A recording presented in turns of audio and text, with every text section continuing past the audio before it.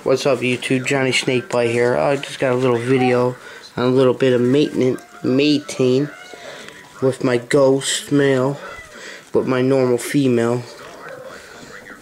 Yeah, just a little breeding going on, a little action going on.